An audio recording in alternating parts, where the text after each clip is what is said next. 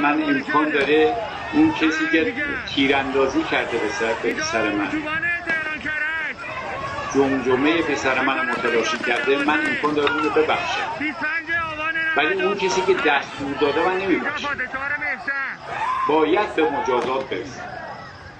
چون بیگناه بچه من کشت و امثال بچه. منم به سر کسی هستم. می‌دونی کشتن. خطر گذاشتم. مادر چه گناهی. داشت؟ تو من بچه هاتون بگیم بیان بیرون.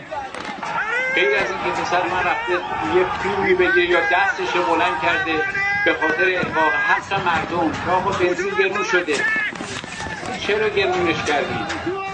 مردم ندارن بیچارن فقیرن. زندگیشون رو نمی‌تونن اداره کنن. تو باید دستور بدی. دمی که یک کلمه هم زیادی است. درخت. و سنگ و سار و سنگ سار و دار.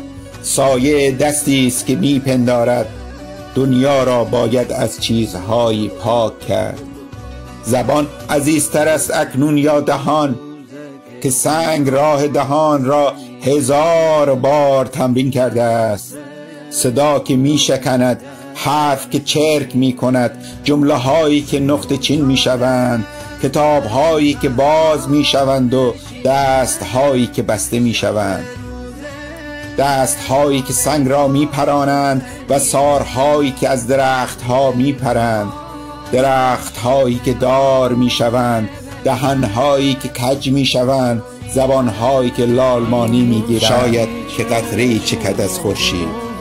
فانوس راه پرت شبی گردد. محتاب خیس روی زمین ماسد. شعری شکفته روی لبی گردد. از روی برگ های گل زنبق آوازهای گم شده برخیزد. شاید شبی کنار درخت کاج آوای گام او شکند شب را. تف بر من و سکوت من و شعرم تف بر تو باد و زندگی و شاید تف بر کسی که چشم راه ماند تف بر کسی که سوی کسی آید. شاید اگر شکوف نومیدی است شاید که مرگ هستی ما باشد.